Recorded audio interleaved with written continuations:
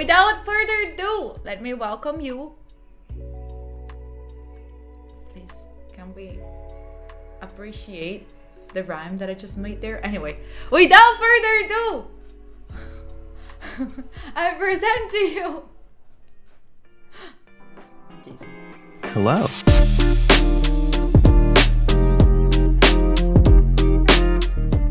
People, welcome back to another Jason Talk. I am always glad to have you back here on Wednesday on Twitch to have conversation about important topics, very important topics that are actually useful for you. If you don't know Jason, it means that you didn't see the other videos that we made together.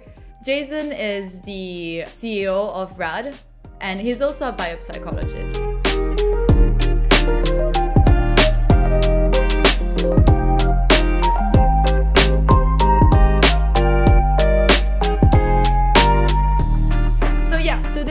Talking about being a morning person. Is it actually necessary to be successful or can we also, I don't know, have different kind of schedules? As my very first question, Jason, I would like to ask you does being a morning person or a night person a real concept? Like does it actually exist? Is there such thing as a morning person, a night person? There definitely is. We have started to see that actually genetically that there are morning and night people. And one of the increasingly amazing developments in this is we can even start to blood test for people being morning or night people. It's really, really uh, important too, because the ability for somebody to be productive, to really do good work, is going to be dependent on that it takes a ton of time to switch around our natural schedule and force ourselves to be a morning person or a night person. And sometimes it, it just doesn't really work out for the best. We've been seeing lots and lots of research now, you know, even suggesting that schools should start later on in the day and kind of build a compromise between morning and night people because for the non morning students who go to school, they perform significantly lower than their morning focused peers. So you can also take uh, some blood tests, like some DNA tests, to check if you are a morning or an evening person. Mm-hmm. Uh, can I ask you, Yeah. like, this is very, very fascinating. Like, what is it analyzed in the DNA in order to see if we are a morning person or not? Yeah, we do have genetic markers that we can look at that show us who is a, a morning or night person. How we become a morning or night person is a little bit more uncertain. I mean, we have different theories of how somebody becomes a morning or night person. We know that somebody's circadian rhythm and how that develops, which can, you know, certainly control when we're feeling tired, when we're feeling awake. You know, we we can see that that might, um, you know, have some some level of influence. Uh, how it's being impacted. But even, you know, if we look at this from an evolutionary standpoint, we have kind of come from all over the world, moved a lot over the entire span of humanity. And some of us have ended up in places that have longer nights. Some of us have ended up in places where the difference between morning and night is less clear, less availability with sun. There's just so many different things that could possibly be at play there. But at the end of the day, what we see is that yeah, absolutely. Forcing somebody to wake up earlier than they need to, um, or than their body is available to, will just put them at a loss for a lot of the day. It's been interesting to see, though, some of, of the ways that people have been working around that, though. Like, um, like a good tip is to just go outside as soon as you can and to start to experience sun and you know naturally prompt the body to wake up. The body starts to absorb some of that sun and feels prompted to wake up and, and keep keep itself moving along in that in that system. Even getting these really interesting lights they're like these natural wake lights as they call them that try and simulate night and day. So when you're falling asleep they dim in a certain way and when you're waking up they you know brighten in a certain way and trying to really modify our body, trick our body into thinking it's it's a different time than it might actually be. Um, but you know, probably even easier than that is to just people wake up when they naturally wake up and let people fall asleep when they naturally fall asleep. If I am naturally by DNA a evening night person. Can I become a morning person? You can, yeah. Uh, I mean, it definitely takes a lot of effort, and humans are pretty resilient, pretty adaptable. So it, it is very much possible to change your routine, shift your routine around, and get your body more comfortable waking up in the morning. Um, one of the challenges with that, though, is if you are not really a morning person, you'll notice it's really easy to ruin your sleep schedule. That can be hard to tell the difference between stress ruining a sleep schedule and our body just wanting to go back to a certain state. But some of the best ways to actually test this is to see what your weekends are like. And uh, you'll notice, especially as you get older, that sleep and how you sleep, you feel significantly more. If you sleep too much, you might start to have headaches or wake up with a headache. You feel really dehydrated. If you sleep too little, yeah, you're just tilted the entire day. Um, it's like, all right, well, let's go next but I, I love to use weekends as a really good place to start to figure out what our sleep schedule is like. Seeing when you naturally wake up and letting that kind of be a good guide as to what your sleep schedule could be. So, is there like a possibility if we're an evening person to eventually love to be a morning person? Yeah, I mean, you can start to become a morning person from an evolutionary standpoint, from humans just being very resilient and adaptable. You know, your body is going to do what you need it to do. Why we're a morning or night person is entirely based on success in survival and reproduction. So, you know, if, if being a night person was valuable in previous generations, the assumption by default is that it's going to be valuable for you. But if you start to find value in a different way and you, you know, you're really training the body to focus more on being morning focused, it, it will do that. It will definitely adapt to that. You know, we're, we're really trying to solve problems genetically they become big problems this, this is almost how so if you're telling your body that it's actually a problem if we don't wake up early in the morning your body will get the point over time and shift to that. This is beautiful to hear because it means that we have hope of uh, changing and actually not hating it. I think that the natural question right after is is it better to be a morning person or is it better to be an evening person? Is there any difference or it doesn't matter? Um, that's a good question. I think that question hinges on a couple of things, though. Relatively, it, it, shouldn't matter, but functionally, societally, it does matter. We seem to value morning people more than we seem to value night people in society. I think part of this is because, you know, maybe there were a couple of morning people that were really successful and started to lead society, and then a lot of night people who aren't really aware that it's it's just a matter of they're not morning people see it more as disciplined. So morning people are super disciplined to them. And so, you know, aspiring to be a morning person, to be more disciplined makes a lot of sense. But it's really just these are the people that have kind of led for whatever reason. And now we're kind of stuck with that. There are plenty of people who thrive very, very well as night people, whether, you know, they've created their own job or freelance or they've just decided to work for a company in a different country that matches up better with what their schedule is. There's so many different ways to really modify that to fit better into what we need, what we want. But I don't think there's objectively inherently good or bad, but there is a lot to value in the discipline of it.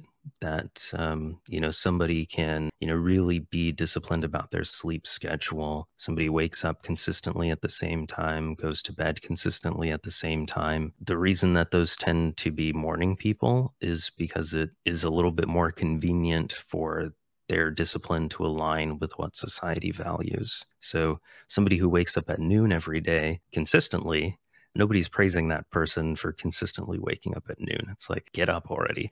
Even though, you know, they go to sleep at two or three in the morning and they work pretty hard throughout the day. So that's kind of the societal way that shifts, you know, what is good or what is bad, which one's better, which one's worse, but kind of all the same. There are like a lot of books that kind of push the idea that being a morning person is more productive. We're surrounded by the constant image that you in order to be successful, you should wake up at 4 a.m. in the morning, take a cold shower, work out, do yoga, eat 300 grams of uh, fruit, and then clean the entire house. And then by the time that it's 7 a.m., you get to work. Like, is it is it something that it's like actually real? Like, you cannot be successful if you don't have this kind of morning routines, or can we actually have a, a better like? Can we have a more um, balanced morning routine that doesn't rush us into the day? The underlying theme is is still discipline. There is a disciplined approach to starting the day. That can begin at any point 4 a.m., 7 a.m.,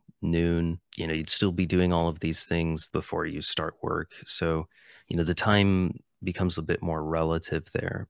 But the idea that we're kind of like pushing ourselves early in the morning to accomplish so much to get off to a good start that is a complicated piece as well. You know we're we're trying to accomplish simple tasks and we're trying to build momentum in accomplishing those tasks. So we're waking up we make the bed successfully we go outside and get some sun successfully we go to the gym and we work out successfully. We're, we're starting to build momentum. We're also starting to build routine. These are all things that, you know, you don't necessarily get excited about doing. Some, some people do, but that, that is a powerful thing somebody who begins their day by successfully accomplishing things that don't wow them, but they know they need to do, is going to go into the workplace and be able to do the same thing. Yeah, I'm not excited about doing all of this networking, but I'm going to do it and get it done. This isn't what is the most fun part of my day, but I do that equally as much as I do the fun. So, you know, usually when we're studying even like the routines of various leaders, what we're studying is a series of somebody who is very disciplined in their work, somebody who's very disciplined and routined in their life. And they have a pattern of success that begins at the very start of their day. How does a productive wake up routine looks like? What are the things that must be in our waking up routine? Waking up naturally is really important. You should be able to wake up naturally at around the same time, give or take 10, 15 minutes every day, weekday, weekend. Get yourself hydrated as soon as you can having water next to your bed is really is a really good start and then you want to stretch get the body prompted to move if you can go outside and stretch even better just start moving getting the body going once you you get the body moving if you are a person that eats breakfast, sure, go for it. If you intermittent fast, then great, even better. What we've started to see is that intermittent fasting is really, really powerful for us. Our brain has a, a natural hunting instinct to it. And when we have not eaten in the morning, our brain is really particularly focused. It is in hunt mode, it is in predator mode. And so when you're working, you'll have an elevated level of cognitive function, and then you can sustain that for a little bit longer before you need to eat. You want to try and add things that you can be successful with at the beginning of your day and get those out of the way. I had done this thing for a blog that I'm working on where I was studying the routines of various leaders and what they do, what their day day to day is like, their daily scheduling. And you know, one of the the things that was really important in this of of all of these leaders is that they had a point in their morning schedule where they were able to reflect and just think all of these different leaders that I was looking at had some point where they were focused in the morning on just reflecting and thinking about what they wanted to accomplish. That is a huge thing to begin the day with as well. So, to summarize, hydrate, working out, or like moving, considering also the last talk that we had about motivation little tasks that we can chain together that will make us happy about new habits. And uh, and then reflect like get having some time to reflect or even think. Someone was actually asking in chat most of us as soon as we wake up first thing reach for the phone. How bad is this thing for us? Um not very good. It is not dooming but you know it, it does say something about our current stress levels when our first concern waking up is to see see what we've missed. That is not a good mindset to have. Usually, this is very reflective of stress. So, typically, you know, when we wake up in the morning, there is a lot of things that we can do before reaching for the phone. Is it normal that one ha- the one, one person has phases where they're a morning person and the next week they become an evening person and can't get anything done in the Um, no. Uh, so that could be stress related could be anxiety related, could be depression related. There, there's a lot of things to take a look at there. The body and the brain want routine. That's what they lean towards.